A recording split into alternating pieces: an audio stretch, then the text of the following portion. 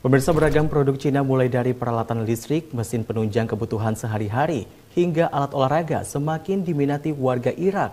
Produk buatan negeri tirai bambu dianggap berkualitas mumpuni, namun dengan harga yang murah. Barang buatan Cina dilaporkan terus digandrungi masyarakat Irak. Beragam produk itu mulai dari peralatan listrik dan olahraga, mainan anak sampai pakaian. Produk buatan negeri tirai bambu dianggap berkualitas baik, namun dengan harga yang terjangkau. Tak jarang, dalam sebuah toko di Irak, 50 persennya adalah produk buatan Cina. Di konteks ini, Cina nampaknya sudah mulai mematahkan anggapan dahulu kala, di mana produk Cina hanya murah saja, namun dengan kualitas yang masih menimbulkan tanda tanya.